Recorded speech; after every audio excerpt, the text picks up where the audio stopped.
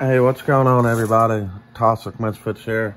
Today's video, I'm going to be basically showcasing a little bit of this account and the gender unlocks I can now do because I found a pretty safe 100% save method.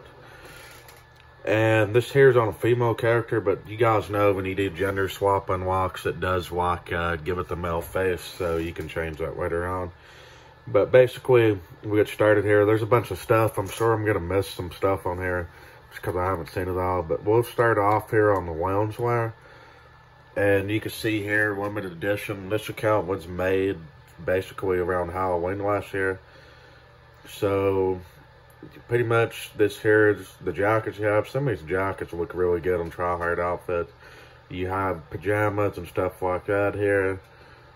I'm pretty sure most of these here are the stuff I unlocked. I could be wrong though.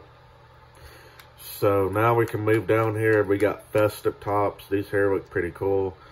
The Clerkenbell stuff. These here look really good on modded outfits. And we got these pajamas. You guys know there's not normally pajamas in here. And if we go to special tops, I think Fame and Shame's normal. We got uh, these here. So yeah, we got the Vapid shirts and stuff. Manufacturer logos, we got these here. It's here. There's some, uh, go back up here. Pretty cool stuff here.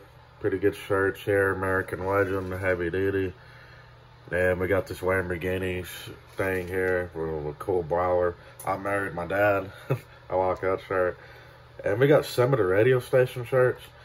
I could be wrong, but there might be more radio station shirts on here somewhere because I've got the components for a lot of them.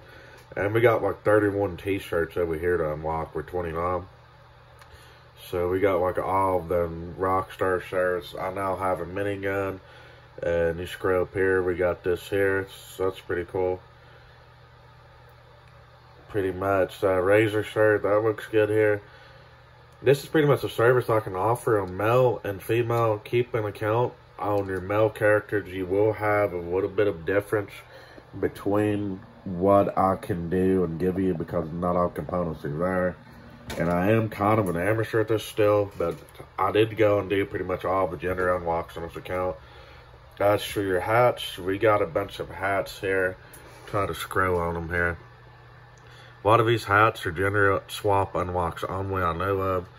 Like these here, that looks pretty cool. And we got the beer hats. People like those for some reason. And as for the mask, you get the hockey mask here. And you get Please Stop Me Hockey. You got the stocking mask.